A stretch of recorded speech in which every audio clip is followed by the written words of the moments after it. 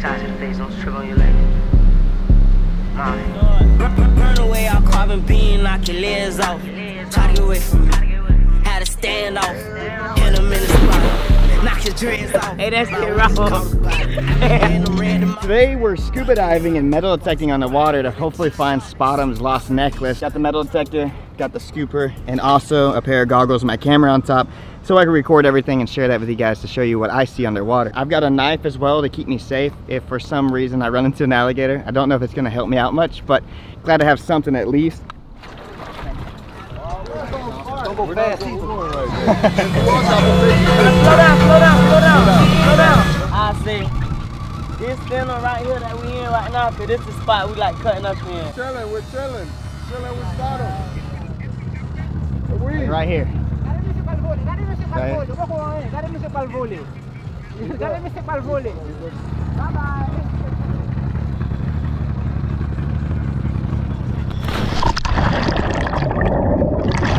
So jumping into this water, I knew right off the back it was going to be a huge challenge to find Spottem's lost $30,000 necklace. Right now, I'm about maybe 40 to 50 feet underwater in this lake. It is just very eerie.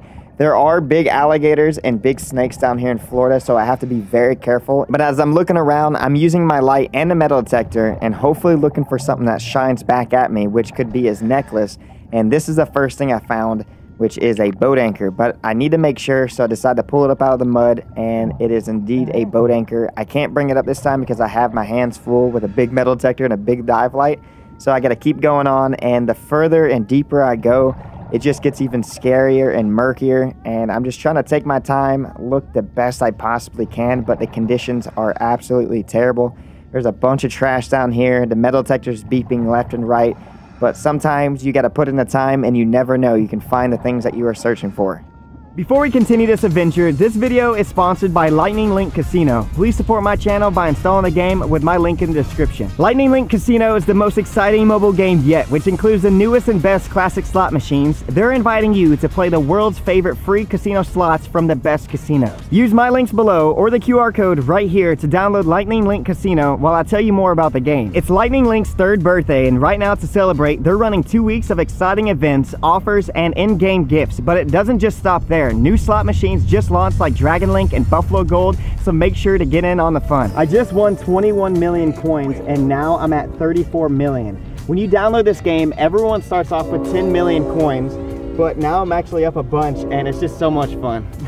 Download Lightning Link Casino using the link in the description or scan the QR code right here on screen and get 10 million coins if you're a new player. Available on App Store and Google Play. Just click the link in the description and I'll see you in the game. So we're back underwater right now metal detecting and we're continuing our search. There's a lot of trash everywhere. The metal detector is still going off. There's even a shoe right there. There's probably everything that you would ever want to find in this lake. But I'm searching for one thing which is Spottem's lost $30,000 necklace. Let's see if we can pull through and find it.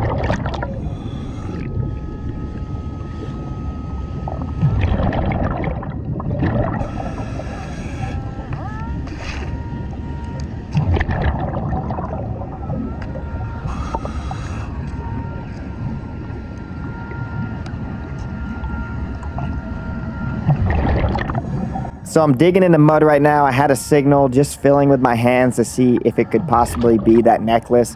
Didn't think it was, so I just kept moving on. I'm just hoping right now at this point the necklace shines back and that it's not underneath this mud. It's just trash everywhere. Try to pick up some right there, but I can't pick up too much big stuff because I don't have uh, any, you know, hands-free. And then this scared the crap out of me. I was like, what is this, man? It's actually a boat trailer, I believe. And I thought maybe there could be a boat on it. So I'm going around. I turned my metal detector off so it wasn't loud in my ears. And I just thought that was very eerie. When you find things in the water that you don't expect, it scares you sometimes. But there was no boat on this. Thought that was pretty odd. But let's keep searching.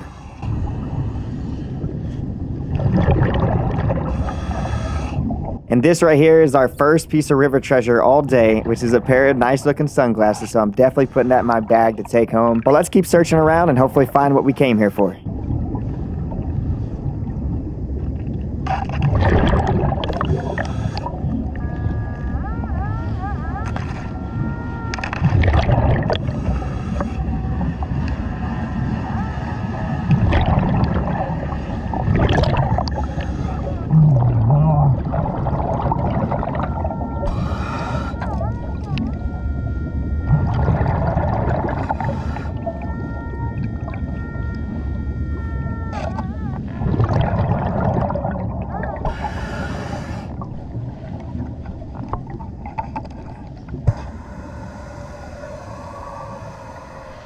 Issue I'm running into is the further I go out, the muddier and murkier it gets. And it would be fine in an alright condition, but there's so many cans and trash underwater that the metal detector's beeping left and right. So this is seriously a needle in a hayfield and I'm gonna have to call it today. I tried my very best. I pushed through alligator and snake infested water, so hopefully find it. I feel bad, but you know what? I came down here and gave it my best shot, and that's treasure hunting. You never find exactly what you're searching for. You just gotta get out there and give it a shot.